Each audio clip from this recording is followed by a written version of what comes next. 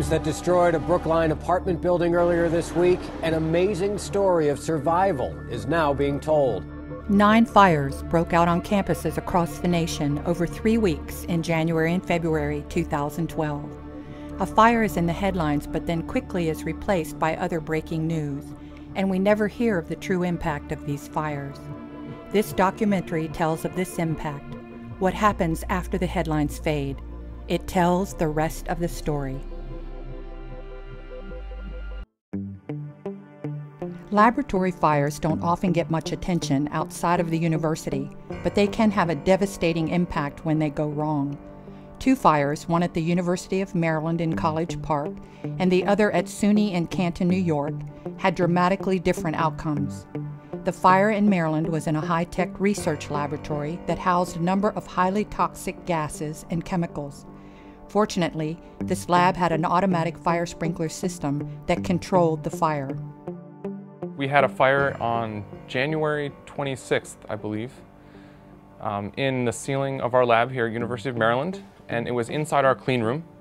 Now, we're not exactly sure what started the fire. Fortunately, no one was injured in the actual fire, so Two students were in the lab at the time. They called 911 and got the firemen here uh, as soon as possible.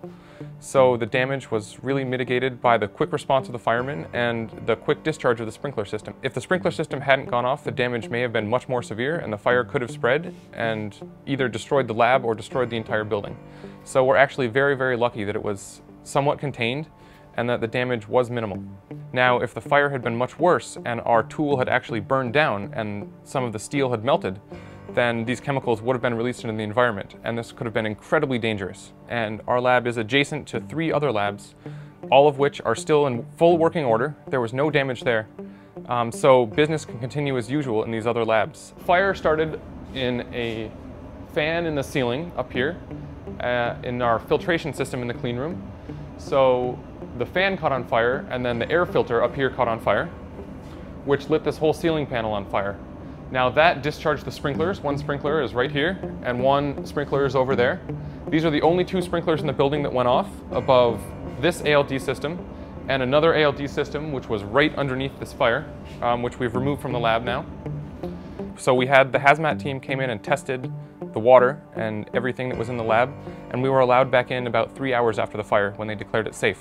So we got to come in and start cleaning up right away, three hours after the fire happened, which we think helped us save quite a bit of equipment um, and quite a bit of our electronics and, and things that we had in the lab. A fire broke out in a chemistry laboratory at SUNY Canton. This lab did not have an automatic fire sprinkler system, and the damage was extensive. But that's not the end of the story. Because of the environmental impact caused by the toxic byproducts from the fire, the campus was shut down for an entire week, and all the students were sent home while the damage could be assessed and cleaned up. The volunteer fire department had to have firefighters on campus for the entire week.